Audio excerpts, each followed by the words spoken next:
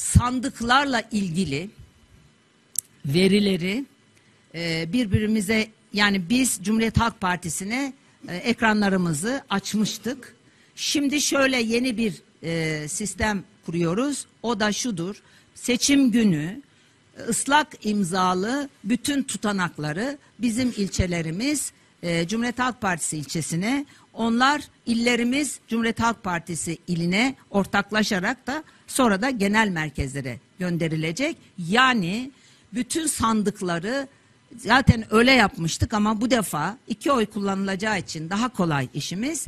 Aynı şekilde insan unsurumuzu, bilgimizi, avukatlarımızı ve bilgiyi ve de sonuçları tek bir alanda toplayacağız. Dolayısıyla e, şu anda e, 2000 sandığa biz itiraz etmiştik.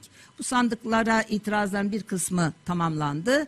İki e, şehrimizdeki milletvekili itirazlarımız devam ediyor. Onları da daha sonra ilgili arkadaşlarımız sizlerle paylaşacak.